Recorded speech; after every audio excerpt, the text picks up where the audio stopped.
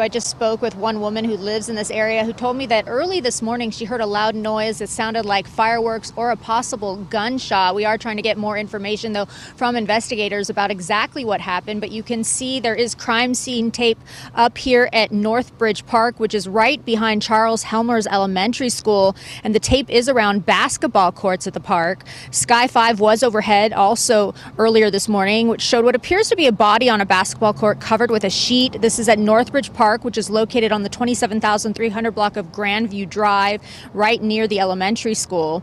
The Santa Clarita Sheriff's Office tells me the fire department responded for a rescue call after reports of a male down in the back end of an elementary school came in around 6:50 this morning. The man was pronounced dead here at the scene, and since then the scene has been blocked off. And we are told homicide detectives are en route. At this time, though, there are a lot of unknowns. We're trying to get more information from investigators about exactly what unfolded, such as who first called and who found the man. We're also trying to find out more about the man, such as his age and what he may have been doing in the park this morning. We're also trying to get more information about if there are any witnesses, possible suspects, or if this may have been a suicide. We've also reached out to the school district to see if there are any things parents need to be aware of at this time. Now, back here live once again, a body found here at this park, North Bridge Park. Homicide detectives are on the way, and we are working on getting more information, and we will bring that to you when we get it. Reporting live here in Valencia, I'm Erin Myers. I'll send it back to you in Hollywood.